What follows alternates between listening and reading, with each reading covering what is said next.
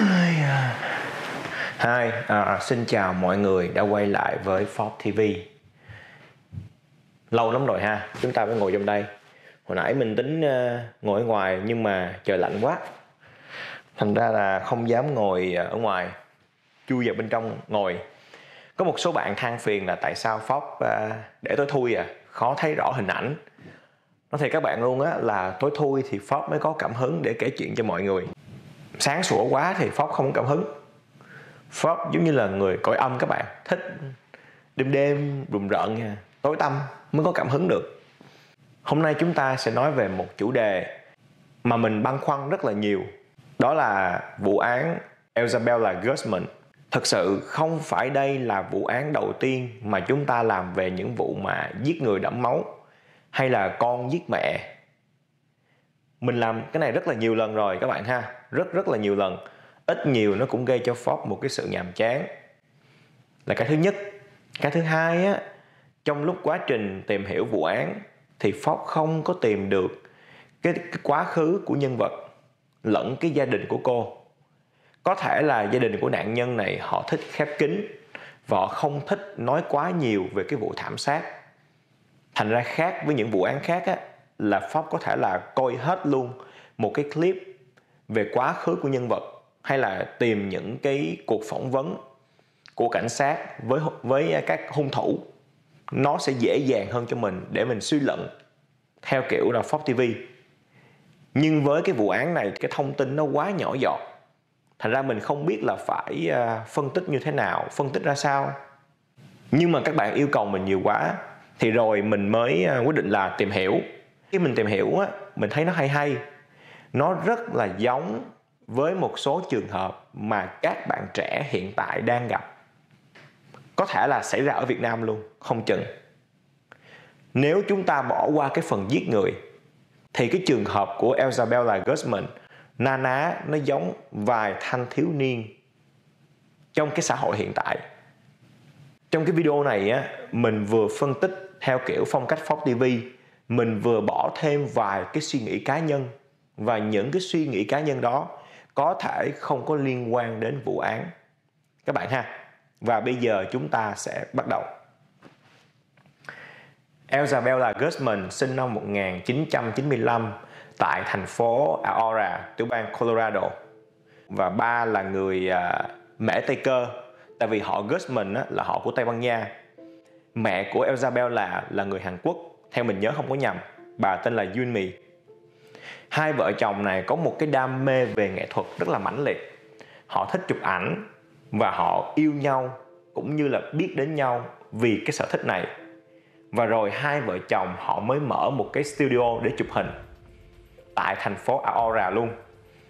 Họ làm việc rất là vất vả, một ngày làm việc có thể lên đến 12 14 tiếng để vun đắp cho cái đam mê của mình rồi sau đó hai người có một đứa con gái. Sinh năm 1995 đó chính là Elzabella. thoạt đầu á, trong 5 năm đầu, khi mà Elzabella sinh ra, hai vợ chồng rất là hiểu ý nhau. Nhưng rồi họ có một cái rạn nứt và họ quyết định là ly dị. Lúc cô vừa 5 tuổi. Và điều này nó làm cho Elzabella có một cái hụt hẫng, một cái thất vọng về người cha cũng như đặc biệt là người mẹ của mình. Tuy là họ ly dị, nhưng mà họ rất là hiểu nhau và rất là chuyên nghiệp. Họ cùng vẫn làm việc với nhau và cùng chia sẻ nuôi con luôn. Và hai bên không hề thù ghét nhau các bạn. Một cuộc chia tay rất là êm đềm. Không có một cái gì rắc rối cả, ngoài luật pháp. Nhưng mà sau khi chia tay xong á, được 5 tháng bà Yunmi có một người bạn trai mới. Ông này tên là Ryan Hoy. Thì điều này làm cho Isabella nghĩ mẹ mình là một người phụ nữ tồi tệ. Bà đã lừa dối chồng à, chồng của bà để quan hệ với một người đàn ông khác và chiếm đoạt tài sản của ba cô. Đó là những suy nghĩ của Isabella khi cô mới 5 tuổi. Các bạn nha. Có thể nói những suy nghĩ này khá tiêu cực nhưng mà mới 5 tuổi các bạn có thể thấy Isabella khá là trưởng thành rồi, với một cô bé 5 tuổi. Mình có một đứa con 5 tuổi, thành ra mình biết được điều này. Thì từ 5 tuổi cho đến 7 tuổi á Elzabella và mẹ là Yunmi, hai người cãi nhau liên tục gần như mỗi ngày luôn. Không có một giây phút nào là hai mẹ con có thể là hòa thuận với nhau, mặc dù Ryan rất là cố gắng để hòa hợp với hai mẹ con. Nhưng rồi anh này cũng thất bại và sau đó, Yunmi quyết định là gửi Elzabella cho Robert, là ba ruột của Elzabella. Và trong lúc ở với ba mình á, Robert khuyên con gái của mình hãy nghe lời mẹ, vì mẹ cô là một người tốt, rất biết thương cô và có trách nhiệm với gia đình. Ông cũng cho biết rằng mẹ của cô làm việc rất là vất vả, một ngày trên 12 tiếng. Và bản thân của Robert không hề ghét người vợ cũ của mình, mà còn tôn trọng người vợ cũ của mình kỳ lạ thay ở với ba đó Elzabel là rất là ngoan ngoãn rất là hiền lành. Nó giống như là hai con người khác hẳn hoàn toàn luôn. Các bạn không thể nhận ra được hai con người này. Nó giống như một con người ở trên tòa lúc nở nụ cười và một con người lúc mặt xị xuống vậy đó. Vậy rồi Elzabel là quyết định là quay về lại ở với mẹ mình. Sau những cái lời cố gắng khuyên nhủ của Robert. Nhưng mà từ 7 tuổi cho đến 14 tuổi á, mẹ của Elzabel là và cô không hề có một cái mối gắn kết nào. Hai mẹ con thường xuyên cãi nhau. Thậm chí trong cái giấc mơ của mình hay trong cái suy nghĩ của mình á Elzabella luôn muốn Ryan là ba ghẻ và bà Yunmi một ngày kia hai người sẽ có một cái chuyện lớn xảy ra, thậm chí là ly dị nhau luôn. Bất hòa. Đó là điều mà cô cầu mong mỗi ngày, nhưng nó không bao giờ xảy ra. Cho đến năm 14 tuổi, Ryan Hoy ba ghẻ. Khuyên Junmi rằng hãy để Elzabella đi làm thêm ở ngoài, để có một chút tiền cũng như trưởng thành hơn, không phụ thuộc vào gia đình, và có thể là gần gũi với ông Robert hơn. Nhưng mà trái với những cái kỳ vọng của cha mẹ Elzabella không hề đi làm. Thậm chí cô còn trốn học. Thì năm 14 tuổi cho đến 18 tuổi, bà Junmi mong con gái mình sẽ vào trường đại học thành một học sinh khá thôi, chứ không cần xuất sắc, khá khá thôi. Elzabella cũng chẳng thiết đi học.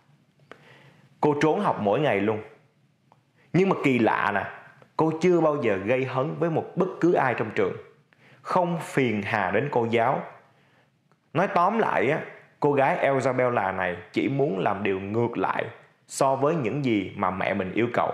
Đó là cái mục tiêu và mục đích sống của cô lúc đó vào tháng 8 năm 2013 có một cái cuộc cãi vã lớn đã xảy ra, rất là lớn luôn, lớn kinh khủng. Có thể nói là nước tràn bờ đê luôn các bạn. Không phải là giọt nước tràn ly nữa. Mẹ của Elzabel là đã bắt cô ở trong phòng và không cho cô ra ngoài. Thì để đáp lại cái cái ờ, cái sự ờ, tấm chân tình của mẹ mình Elzabel là tặng mẹ mình một bức thư và sau khi mà bà đọc xong á, bà muốn té cầu thang luôn. Ông Ryan đọc xong là ông lập tức gọi cho cảnh sát liền. Thì mình đã nói rồi Elzabella chưa bao giờ gây một cái tiền án tiền sự nào, chưa có gây sự đến nhau với ai. Cô rất là hiền lành với những người xung quanh. Khi mà cảnh sát tới, họ bỏ qua cho cô. Tại vì nghĩ một cô gái như vậy không có thể làm nên một cái điều động trời như trong bức thư. Nội dung bức thư mình chưa coi, hoặc là mình tìm không có được trước một đêm cái vụ thảm sát xảy ra. Mẹ của Elzabella đã gửi cô cho ba của của cô là ông Robert. Và ông Robert một lần nữa lại khuyên nhủ Elzabella hãy thương mẹ con mẹ con là một người tốt. Ba, không có một cái gì gọi là phiền hà với mẹ hết. Tưởng như mọi thứ có thể là tạm thời các bạn nha, tạm thời. Dàn xếp êm xuôi nhưng vào tháng 8 á, ngày 28 năm 2013 ông Ryan nghe một cái tiếng thét to thiệt là to luôn trong nhà vệ sinh. Trong bathroom đi mình nói cho lịch sự. Ông mở cửa hoài không được đóng cửa răm răm răm cũng không được luôn. Và ông nghe cái tiếng thét nổi lên rất là ghê. Tiếng thét đó chính là của vợ ổng. Nhưng mà ông cũng không biết là Elzabel là làm một cái điều kinh khủng trong phòng tắm tại vì đây không phải là lần đầu tiên mà ông nghe những cái tiếng này. Hai mẹ con có va chạm với nhau rất là nhiều. Nhưng chỉ là va chạm một cách giống như là mẹ các bạn quýnh các bạn nhẹ nhàng vậy thôi, hay là trừng phạt nhẹ nhàng. Ông không ngờ rằng trong phòng tắm có một cái chuyện kinh dị đang xảy ra. Ông kẹt quá, ông mới gọi cảnh sát.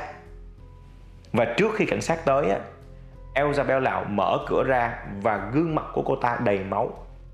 Trên tay của cô cầm một con dao. Cô bước đi nhìn mặt ông Ryan. Một ánh mắt vô hồn mà Ryan có thể nói là sợ rung chân luôn. Rồi cô ta bỏ chạy. Ryan chạy vào phòng tắm thì thấy vợ của mình đã bị đâm trên khuôn mặt tất cả là 71 vết dao. Khuôn mặt thôi nha, 71 vết dao. Và từ đây cho đến chân tất cả là hơn 80 nhát dao. Tổng cộng là 151 nhát dao trên người phụ nữ xấu số Yun Mỹ. Dĩ nhiên với từng ấy máu, từng ấy vết dao không thể nào mà một con người bình thường sống được. Có thể nói cái sự căm phẫn của Elzabella cho mẹ mình rất rất là nhiều. Các bạn biết mình coi rất là nhiều vụ án thảm sát, mình đi rất là nhiều chỗ ma ám. Thường thường hung thủ chỉ cần làm khoảng mấy chục nhát thôi là xong rồi đằng này tới hơn 100 nhát các bạn mà trên mẹ ruột của mình, có thể thấy một cái sự căm phẫn rất là lớn. Một ngày sau là ngày 29 hay là ngày 30 tháng 8 năm 2013 Elzabella chính thức bị cảnh sát bắt. Vì cô không phải là một sát thủ chuyên nghiệp, một kẻ giết người mang rợ có kinh nghiệm, cái quá trình bắt cô cũng rất là dễ. Thành ra Ford không có phân tích cái chi tiết nó bắt cô ra sao. Vậy rồi họ xử án cô như thế nào? Theo mình nhớ nha, tại tiểu bang Colorado á, họ không có cái hình án là xử tử hình. Mặc dù rất là nhiều người trong thời điểm đó muốn tử hình Elzabella vì cô được 18 tuổi rồi lúc mà giết mẹ mình. Nhưng mà kỳ lạ thay, họ khoan xử tội cô đã. Họ đưa cô cô vào nhà thương tâm thần tại vì bác sĩ họ đã tìm thấy một số triệu chứng không bình thường trong đầu óc của Elzabella. Một điều gì đó đã xảy ra trong đầu của cô đa nhân cách hay là bị ảo giác, bị sụp đổ tinh thần.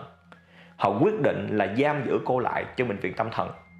Và đến năm 2021 là năm nay nè, cách đây vài tháng á, cô được thả ra ngoài.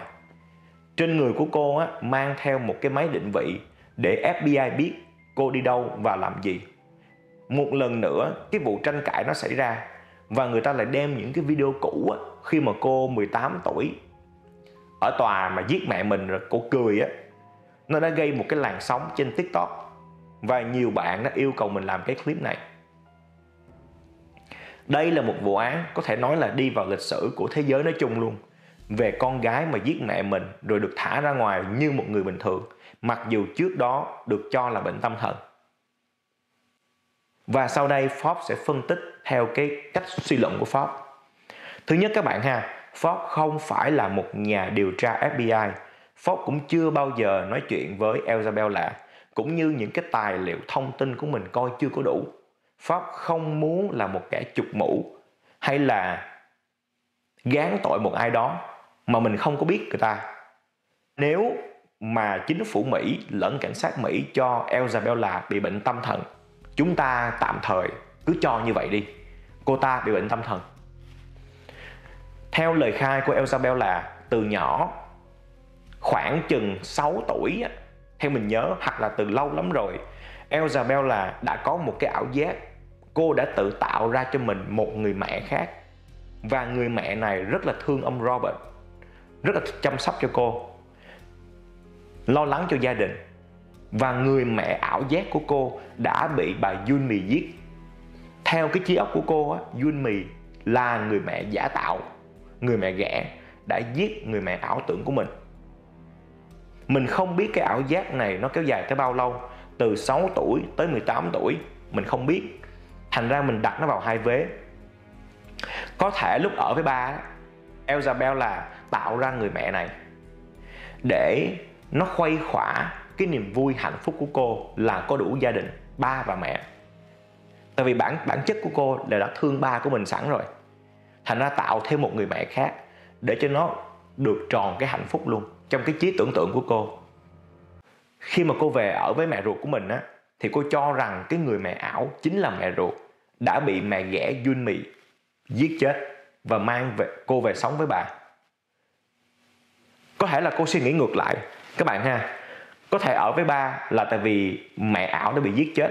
Mình không biết được. Thành ra là, nhưng mình nghĩ là cái vế đầu mình đặt nó hợp lý hơn thật sự mà nói các bạn, con người chúng ta đó, kể cả Forbes ngồi đây nè, các bạn đang coi nè, thỉnh thoảng chúng ta đều tưởng tượng những cái gì mà chúng ta không có được trong cuộc sống. Mỗi người sẽ có một cái tưởng tượng riêng cho mình. Chúng ta sẽ đắm chìm trong cái tưởng tượng đó, có thể là một phút, hai phút, thậm chí là một tiếng. Và nhiều hơn như vậy nữa, gần như là mỗi ngày luôn không chừng. Chúng ta cứ tưởng tượng một cái gì đó mà chúng ta không có được nhưng rồi á, chúng ta sẽ quay về với thực tại. Và cái cảm giác nó mất đi, vì chúng ta kiểm soát được nó. Cái lý do mà chúng ta tưởng tượng á, là để nó khuây khỏa cái đầu óc. Nó làm thỏa mãn cái mong muốn của mình, những thứ mà mình không có được. Nhưng rồi, nó cũng biến mất. Mình đã nói rồi, chúng ta kiểm soát được nó. Có lẽ với Elzabella thì không. Cô tưởng tượng một người mẹ ảo đã bị mẹ ruột của mình giết chết cô căm thù cái đó ở đây. Nhưng mà khi mà cô trở lại là, là một con người bình thường á cái cảm giác căm thù này cô không có xóa đi mà cô mang nó về với thực tại của cô luôn. Tại vì các bạn Elzabella không phải là một cô gái hoàn toàn bị bệnh tâm thần. Cô có lúc tỉnh và lúc bị điên là bị mát. Không phải lúc nào cô cũng bị mát. Nó chập chờn chập chờn. Thì có thể cái sự hận thù đó cô mang đi theo luôn. Là thứ nhất. Thứ hai á, có thể là cô bắt mẹ mình phải chịu toàn bộ trách nhiệm. Trách nhiệm đây là gì? Trách nhiệm ở đây á, là căn bệnh của cô đang có trong đầu. Cái sự rối loạn đầu óc của cô. Và cô mong muốn mẹ cô có thể giúp cô thỏa mãn được cái ước mơ trong cái trí tưởng tượng của cô. Nhưng rồi mẹ cô không làm được. Thành ra cô đã thảm sát mẹ mình. Nhưng mình nói như vậy á, nó có một cái gì đó nó chưa có thông suốt. Tại sao cô không nghĩ ngược lại? Là ba mình, mà tại sao lại hướng về mẹ mình? Có thể một số bạn coi cái clip này á, các bạn cho rằng mẹ của Elzabel là bà Yunmi rất là tội nghiệp, đúng không? Thật sự bà đáng tội nghiệp và thật sự cực kỳ tội nghiệp luôn khi bị con gái của mình giết nhưng mà đâu đó các bạn cũng nghĩ rằng do bà này một phần tí xíu là có bạn trai sớm quá. Hoặc là hoặc là bà này không có chăm sóc cô đàng hoàng. Hãy nghĩ lại đi. Tuy là Elzabel là thương ba của mình nhiều hơn, nhưng rõ ràng ông Robert luôn muốn đưa Elzabel là về mẹ của cô. Mình không nói xấu ông Robert các bạn nha. Nhưng các bạn coi cái câu chuyện, các bạn có thể thấy được điều đó và quả thật, bà Yun Mì cũng mở tấm lòng ra và giữ con gái lại bên mình. Mặc dù bà có bạn trai, thành ra đó không phải là một cái lý do mà nói rằng Elzabella đã ghét mẹ mình hơn. Chúng ta có thể cho một cái như sau. Cái này kể cả người Mỹ luôn và người châu Á luôn cũng đều nói một câu. Thương á, nếu mà cha và mẹ thương con gái bằng nhau á, cái đứa con gái á tự động á, nó thương ba nó hơn. Nó thể kể cả người Mỹ cũng nói cái này luôn các bạn nha, không phải người châu Á mình không đâu. Thành ra có thể đó là một cái lợi thế của ông Robert. Cái tiềm thức á Elzabel là đã quý ông hơn sẵn người mẹ của mình rồi. Và đôi khi các bạn, chúng ta thân với một ai đó quá nhiều á, chúng ta tiếp xúc với một người đó quá nhiều á, chúng ta không có nhận ra cái tình thương của họ và khi không nhận ra rồi chúng ta sẽ ghét họ nhiều hơn cái người mà chúng ta tôn trọng. Có thể điều này nó xảy ra với Elzabella thì đó là cái suy nghĩ của mình, rất là đơn giản như vậy thôi. Vậy thì những cái suy nghĩ khác của Forbes thì sao? Trước khi mà Forbes nói những cái suy nghĩ cuối cùng này cho mọi người á, thì Forbes mong mọi người hiểu một điều. Forbes không bao giờ đánh đồng tất cả mọi người. Những điều Forbes nói kế tiếp sau đây chỉ là một số người mà thôi chứ không phải là tất cả các bạn nha. Nếu mà chúng ta bỏ qua cái phần tâm thần và giết người á, thì cái trường hợp của Elzabel là rất giống với một số thanh thiếu niên hiện tại.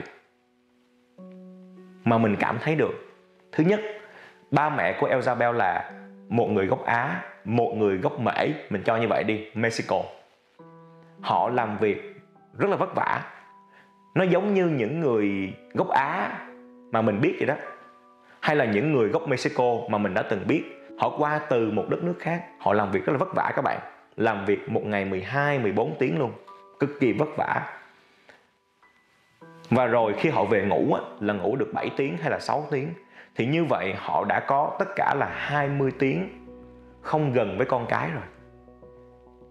Chưa kể là con cái họ đi học trên trường tiếp thu một cái nền văn hóa khác.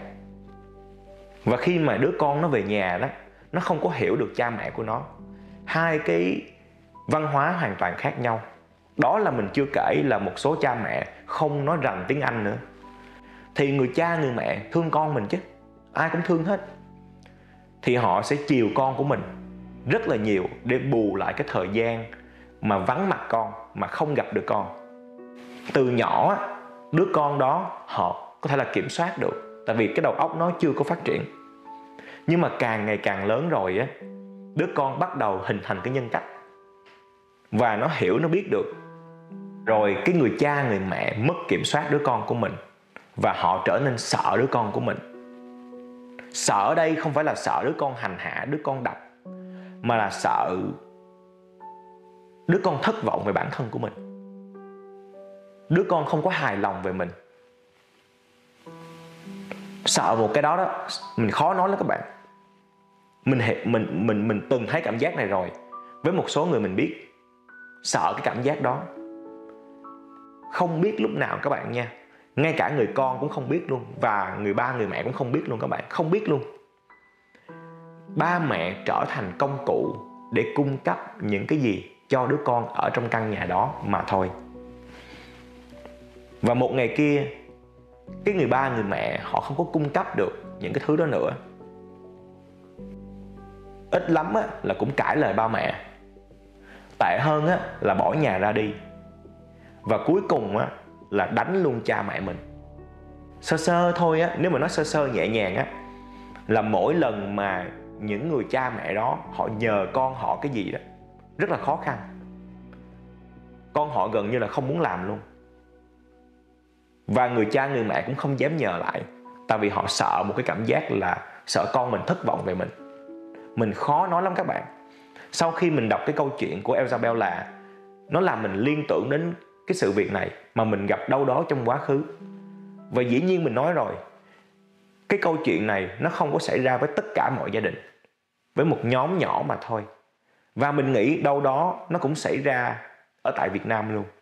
Nhưng có lẽ là mình không ở Việt Nam thành ra mình không có gần gũi để chia sẻ một câu chuyện nó nó nó thiết thực được. Mình đành phải đem một câu chuyện ở Mỹ mình kể, tại mình sống ở đây mà. Thì đây là cái phần phân tích tâm lý, cuộc sống theo phong cách của Fox TV xin chào mọi người và hẹn gặp lại mọi người tại một cái clip khác. Tạm biệt.